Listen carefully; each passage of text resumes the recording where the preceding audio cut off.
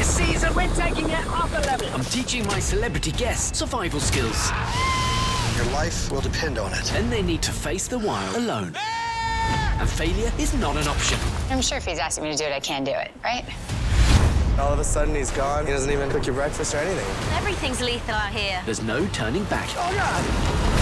Oh, who talked me into this?